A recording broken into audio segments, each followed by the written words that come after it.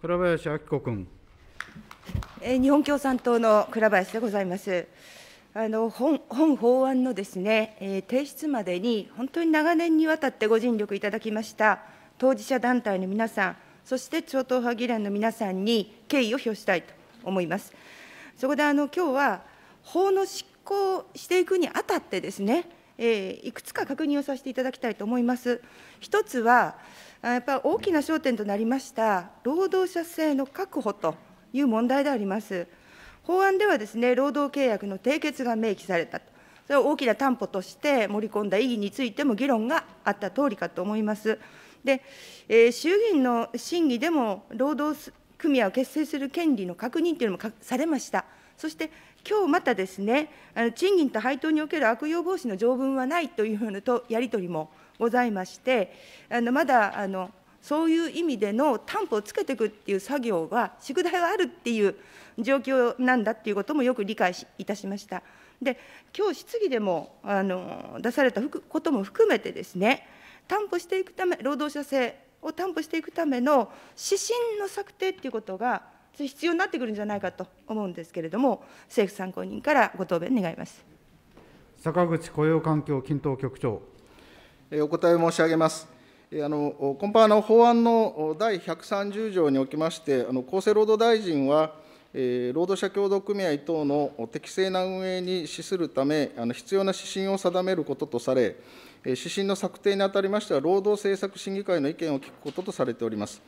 今、あの委員のお尋ねの組合員の労働者性に関しましては、今回、法案では労働者協同組合の設立、管理等について規定する組織法であるところでありますが、労働契約の締結義務について、組合員の保護の観点から、法案の第20条において、組合は代表理事、専務理事および幹事を除き、事業に従事する組合員との間で労働契約を締結しなければならない旨、特にあの規定されているものとあの承知をしております。であの今後の対応についてでございますけれども、あの衆議院の厚生労働委員会におきましても、え提案者のほうから、組合員は事業者ではなく、労働者であることを明確にするため、今後定められる指針等において、事業を実施するのはあくまでも組合であって、組合員は事業の従事者であることや、またあの労働者協同組合制度においては、組合員は組合と労働契約を結ぶ事業の従事者であり、基本的に一部の企業組合のような事業者性を有するものではないことという趣旨が明らかにされるものと考えている旨、えー提案者の方からのご発言もあったところでございます。えー法案が成立した場合に、あの私どもとしましても、えーこれらの国会におけるご議論等も踏まえ、あの指針等の具体的な内容について、しっかり検討してまいりたいと考えます。倉林明子君。で具体的な指針の中身ということで、えーなんですけれども、一つね、やっぱり求人にあたって、労働契約を明示する必要性があるんじゃないかということが1点、それと、名ばかり理事という問題でですね、労働者性を認める場合の要件の整理ということもあの示していくべきではないかというふうに思うんですけど、いかがですか？坂口局長。あの先ほど申し上げましたように、あの指針等の具体的内容につきましては、あの今後、国会でのご議論等も踏まえつつ、あの検討してまいりたいと考えておりますが、法案の第20条において、代表理事、選任理事および幹事を除き、組合と事業に従事する組合員との間で、労働契約を締結しなければならない旨、あの規定されており、代表理事でない組合員、代表理事等でない組合員が、組合に加入する際には、労働契約の締結が当然に必要になるものと考えております。でまた、あの選任理事と言いながらも、あの実態として組合の事業に従事させる事態は、そもそも法案の第20条違反になる旨、あの衆議院の厚生労働委員会において、提案者からもご発言があったものと承知しておりまして、こういった点も踏まえつつ、検討してまいりたいと考えております。倉林明子君。えー特に、えー確認ですけれども、名ばかり理事の問題についてはですね、理事長の指揮命令に、えー従って事業の執行に関わる業務、で人事権や予算執行権がないという場合については、労働者性はこれ、認められるという考え方になりますかね。坂口局長。お答え申し上げます。あの先ほどもご答弁申し上げましたとおり、あの法案の第20条におきまして、え代表理事、専任理事、または幹事を除き、組合と事業に従事する組合員との間で、労働契約を締結しなければならない旨規定されており、専任理事と言いながら、実態として組合の事業に従事させる事態は、そもそも法案第20条違反になる旨、衆議院の厚生労働委員会において提案者からのご発言があったものと承知しております。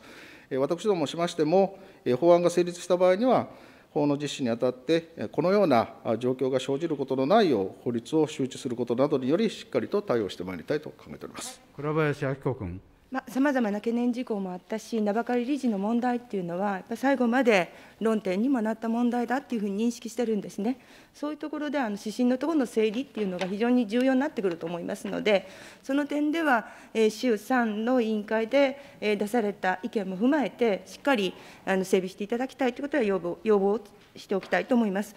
えー最後にですね、これ、意見を申し述べたいと思います。それは、法案で就労支援 A 型事業を実施する場合ということでですね、利用者である、え障害のある人は、当分の間、8条の組合の行う事業に従事するものには該当しないと、え事業従事者に関する人数要件の算定の対象としないという規定がございます。えこれはですね、障害のある労働者を、障害のない労働者と扱いを異なると、異なる扱いをすることになるというものですね。さまざまな矛盾をを整理すれば、こういう形しかなかったと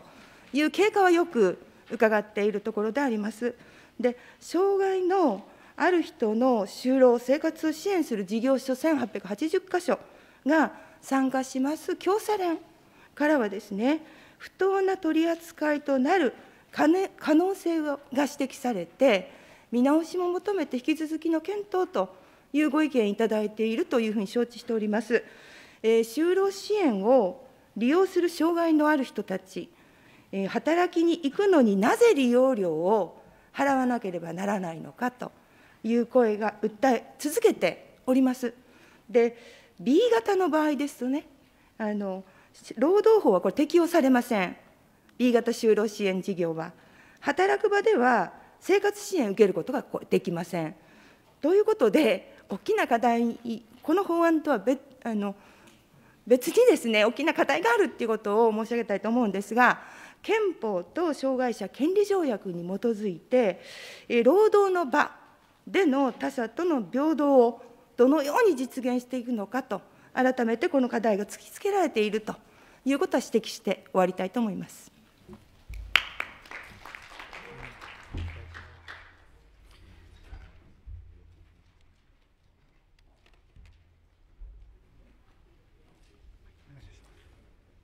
単にご発言もないようですから、質疑は終局したものと認めます。これより討論に入ります。別にご意見もないようですから、これから直ちに採決に入ります。労働者協同組合法案に賛成の方の挙手を願います。全会一致と認めます。よって本案は全会一致をもって原案通り可決すべきものと決定いたしました。なお、審査報告書の作成につきましては、これを委員長にご一任いただきたいと願いたいと存じますが、ご異議ございませんか？ご異議ないと認め、採用決定いたします。午後1時に再開することとし、休憩いたします。休憩中に換気を行いますので、書類等は机の下にしまっていただくよう。